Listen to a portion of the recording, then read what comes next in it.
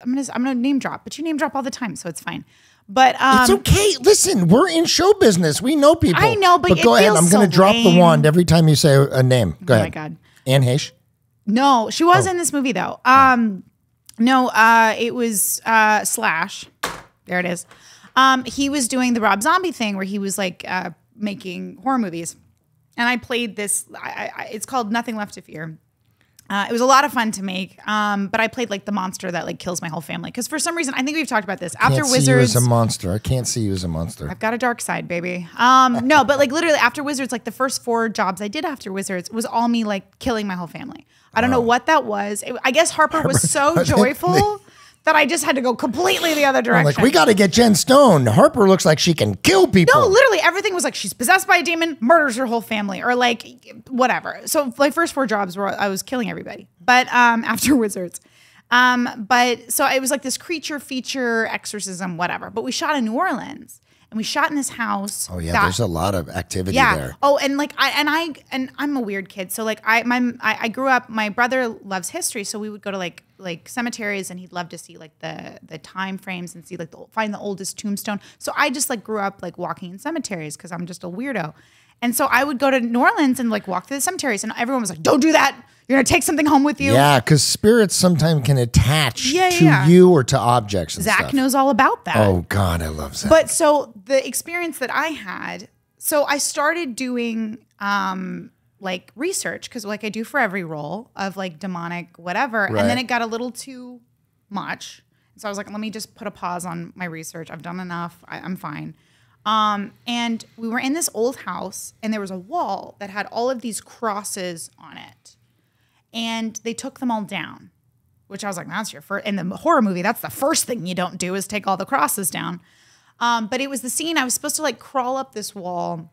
There's a sliding closet door, and uh, my makeup artist that was doing all the prosthetic makeup on me, um, they had drilled it into the floor because they didn't want it to rattle for sound. And the first thing that happened was in this corner, it fell on her. So for some reason, with Even all these, even though it was drilled into the in? ground, and it was they drilled it in there, so it came off the thing and hit her in the head. She had to go to the hospital with a concussion. So we kept going because we only had the location for it's show business. You got to keep Right. going. Like it was just very odd. So I I did this thing where like I started kind of going up the wall and it was like an out of body experience where I was totally aware of everything that was happening to me in this corner, but I couldn't control anything that was happening. And then I like, and then my knees just like gave out. Like I went up this wall. I, I started doing these like weird things that I had not planned on doing, didn't feel like I was in control of doing. And then my body just like went limp. And I said to them, I was like, did you guys get this on camera? Like that was the weirdest thing. They were like, let's like look, like we were shooting. We should have. Please say yes. No, the camera completely cut to black, completely cut out. And that for the whole happens to thing. everybody who doesn't know. I'm getting goosebumps right now. That's intense, Jen. It was it was Um, weird. I asked my parents. It was in it was in uh, New Orleans, and I asked my parents. I was like, "Can you?" It was my first like location shoot on my own, and I was like, "Can you please come down?" I was like, "I'm a little freaked out." Basically, you got possessed while you were acting possessed. I don't know. right? I've tried it like especially like since like going to healthcare. I'm like trying to find like a medical reason of maybe I like vasovagal or like What is something. vasovagal? It's it's basically like if you stand up too fast or if Ah, you get yeah. shocked or stress or I'm vasovagal all the time. I well it. yeah well it's like Zeke on the show did that a lot. Oh, I get so excited and pass out. But that's what happens. Like if you get your blood drawn, you pass out, or even if you take a shit too hard, you pass out. You know what I That's mean? Like, not happened to me, anybody. but it's a so you thing. But that's what I'm saying. So like I try to like put like a, a logical reason behind it, and I and I just it doesn't add up. It was really creepy. Um, let's we can move on to some questions, but yeah, yeah. Everyone's like, everyone, I didn't realize this was a Ghost Adventures podcast. That you should watch Ghost Adventures. it's an awesome show. It's Somewhere really Zach fun. Bagans is like, yeah. and Zak Bagans, if you're listening, I heart you, and I uh, am a huge fan. I love that the I heart like you just say I heart you all the time. Well, so. Zach, are you, are you kidding Well, no, but you me? say it about like you I do a little. me, okay, I'm going to do a little it's really imitation of. Zach. Just tell Please me. do. Just Please tell do. me anything about what's going on. So this house, um, there's just unexplained noises, and the door closes randomly.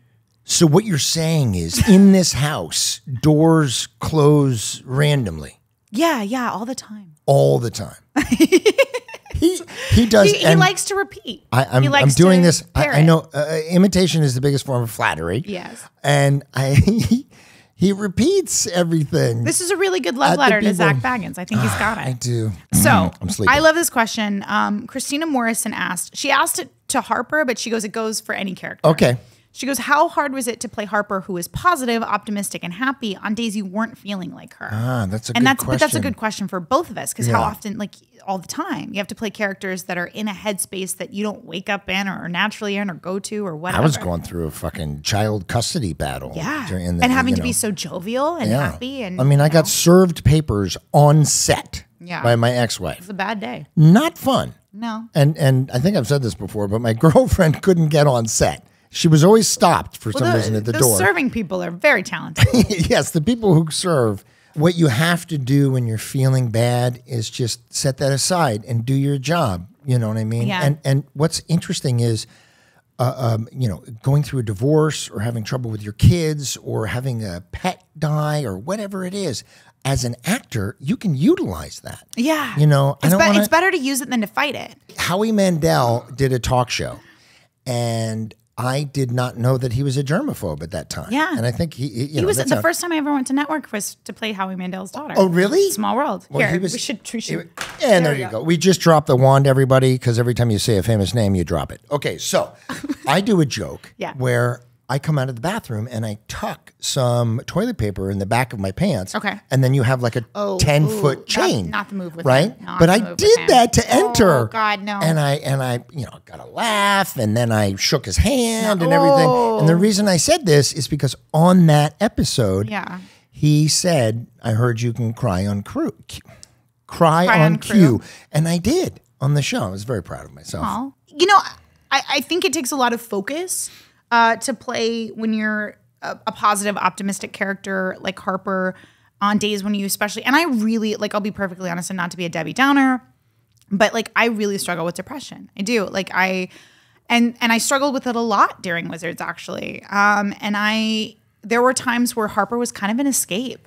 Like I think of acting a lot of times as a catharsis, and if you can find that focus and tap into that person, it, it can be a catharsis and an escape from Yes. sometimes what you're going through. And and like I said, I had some I had some dark days and, and, and some depression that I really struggled with during Wizards. And Harper was my reprieve almost. Yeah. So, so was there, uh, it's intense. like I said, I didn't mean to be Debbie Downer make about me it. cry. but- But, but wait a minute. Didn't Debbie Downer, didn't she play your mom? she, no, she show? played Future Harper. A Future Harper, Rachel okay. Dratch. Yeah, yeah, she played the Future best. Harper. Um, it's important to you know you're talking about being depressed. There's a you know talking about being depressed is important. Sharing that, and I love the fact that you were able to feel better by acting. well, it's and- and outlets. esca- yeah, it's, it's doing it's that, it's, right. it's the importance of outlets, and and it's you know, and and I think uh, we've talked about this before about like taking things, keeping things from being taboo that should be normalized and things like that. But, Right.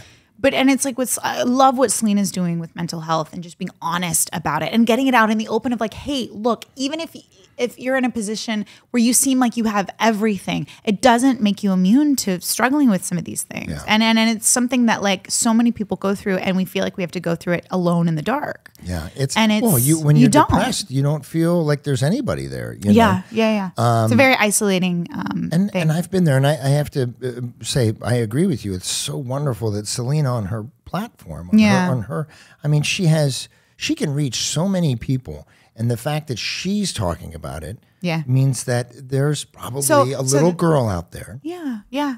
who might be unhappy or depressed, and because you and Selena are talking about this, Yeah. will come out and talk about, uh, you know, But uh, it's- uh, how they're feeling, it's which is worth important. being honest about to me in all facets of like your experience of life and, and things like that it's worth being honest about it and talking about it if you can make one person feel less alone in, in their experience because some some of these things whether it be a chronic illness whether it be uh, you know mental health whether it be a circumstance that you're going through the worst thing in the world is feeling like you're the only one and so to give so to alleviate that Right. and to know that you're not is is worth all of it. now being older, I see how many people go through Yeah. very similar things to me, and there's The human there's a- condition is very repetitive. But but but knowing someone else has been there and like, oh, that happened to me too. Yeah. That camaraderie, and we can talk about it now is really important. Mm-hmm. You know. All right, let's shall we move yeah, on to let, another us let's question? go. Speaking of happy and positive, ooh, Dan Graff Hey, Dan. And a lot of people asked this Oh, actually because we talked about the original unaired pilot, which I've only seen, but I had to go to the 21st floor at the Disney Channel building Oh, to and watch secret- it. they to- locked you They in? locked me in the vault, and I had to watch it in the Disney vault. Everybody's asking. So, but what happens? Am I- am I gonna get in trouble No, but if that's I what they're show asking. everybody? They're saying, "Are you allowed to show the unaired pilot?" And the qu- answer is, "I don't know."